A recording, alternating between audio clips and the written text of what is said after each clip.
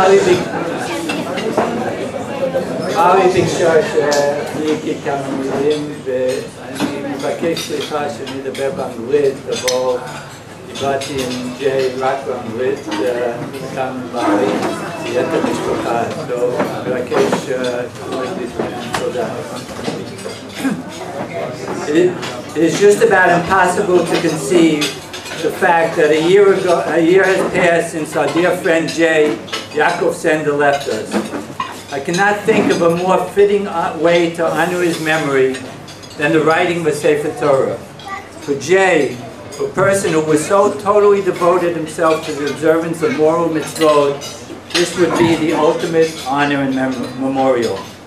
He and Maui raised three beautiful children, all devoted to the Torah and its precepts, and all married to spouses as equally committed as themselves. Together, together they have children, B'nai Torah and B'not Torah, beautiful grandchildren of whom Jay was so proud. Having sat behind Jay in Shul for so many years, I was able to witness his joy and excitement when his children and later his grandchildren came in to sit next to him. It always brought a smile to his lips and a gleam to his eyes, even when he was already sick and not feeling well.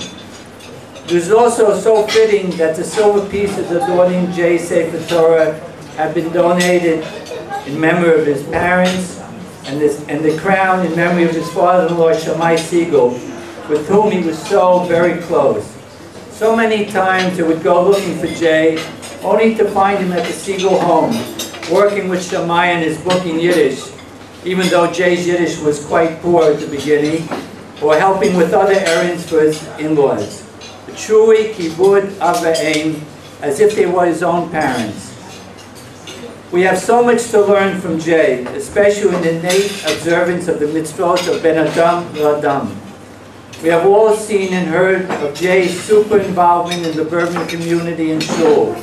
There was not a facet of the community that he did not become involved with or upon which he did not leave his mark. It was he who first computerized the Aliyot list, Yortzeit, Mishaberach list, davening history, seating for the high holidays for both minyanim, preparing the charts to hang in the lobby, finding a place for every person who wanted to daven with us, so as not to leave anyone out, observant or not observant. The journal dinner planning, both the dinner and the journal, with meticulous attention to all its endless details, maintenance of the shul and organizing all the ba'alei melacha needed to keep the building working properly. And always in the end getting more than we paid for. For Jay was able to sweet talk them all into doing it for slower prices and helping out as a new friend.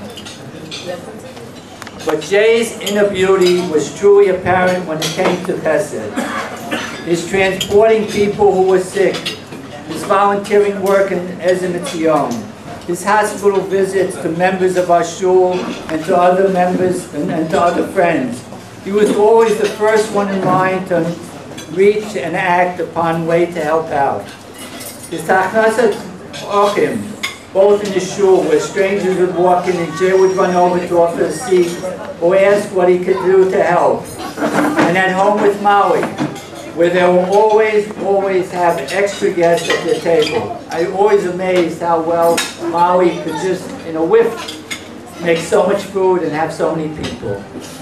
When B and I moved into the community, they were among the first people to have us for Shabbat meal, when we were living on Rehov Martin. I still remember it clearly. Jay was a, new, a unique person, one who truly went out of his way to help others, always with a smile on his face. He was a true soldier of peace, Rodef Shalom, always trying to prevent any fights because of disagreements or variance of opinion. We have so much to learn from Jay's legacy. For me, Jay was a true and trusted friend. May his memory and the sacred Torah that his family has written in his memory serve as a reminder to all of us how, how to improve our skills ben adam adam and fulfill the mitzvah that was so precious to him. And may we learn from the proverb,